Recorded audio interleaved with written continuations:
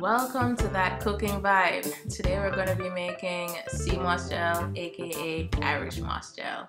Stay tuned.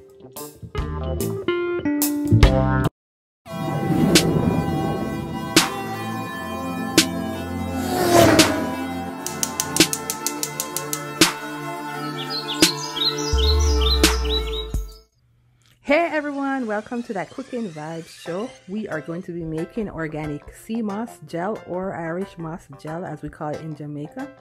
As you can see, the water is cloudy. That is because the sea moss is dirty at this time.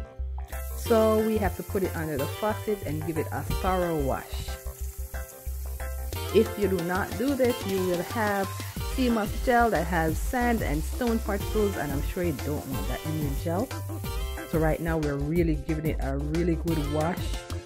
And a good indicator is when the water is clear, then you know that it's pretty much clean. Right now it is in its dehydrated state. We are looking at about two cups of the Irish moss right now. Okay, now it is all washed and clean. I went ahead and put it in some spring water. So we're gonna keep it in the spring water overnight. So we do this for about four to 24 hours. And this is what it looks like after 24 hours. As you can see, it has expanded greatly.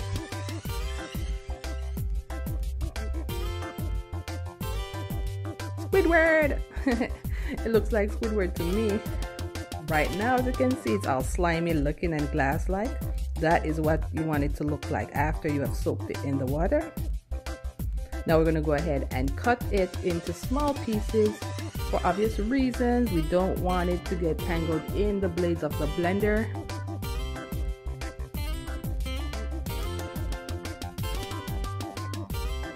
Okay, now we're going to place it in the blender. And we're going to put some water in it.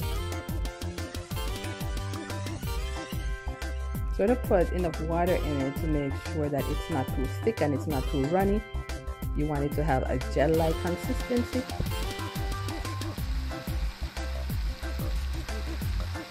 Oh, look at that nice gel. Mmm, mm, good stuff.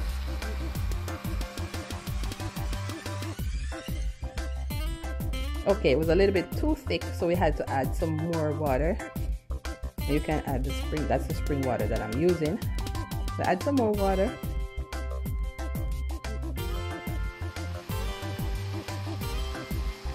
That's my handy dandy husband, by the way, who's helping out. And voila, we have a nice sea moss gel.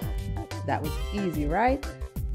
Okay, so yeah, just put it in smoothies or whatever you like please subscribe. I hope you like the video. Bye